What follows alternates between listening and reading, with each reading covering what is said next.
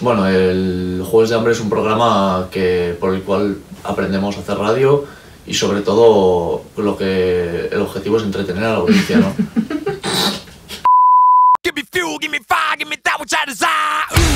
Bueno, lo presentamos esta señora mayor y yo y el- lo principal es entretener a la audiencia, eso sí, lo de aprender un poco menos y sobre todo nos lo pasamos muy bien. Y traemos cada semana eh, a un invitado que tiene una historia diferente que contar.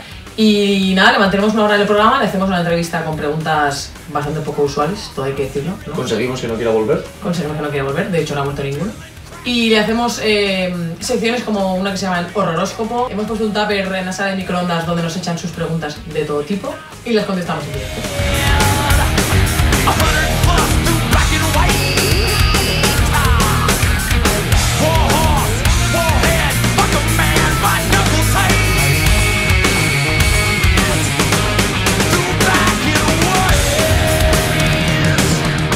Luego, pues, el guion es flojo, las cosas como son. Tenemos público, Tenemos público, eso sí, hay que venir de público. hay que ver el público, hay que escribir a nuestro community manager en arroba jueves de hambre. Correcto.